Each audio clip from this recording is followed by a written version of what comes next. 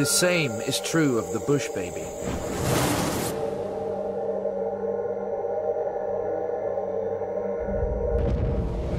This time slice sequence shows the various poses a bush baby adopts as it jumps.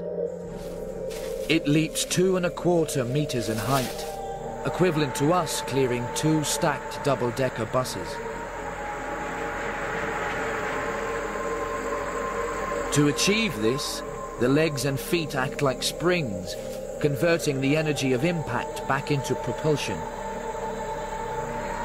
It really does have a spring in its step.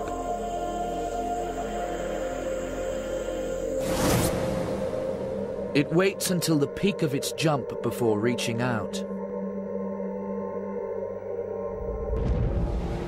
The tail acts as a counterbalance.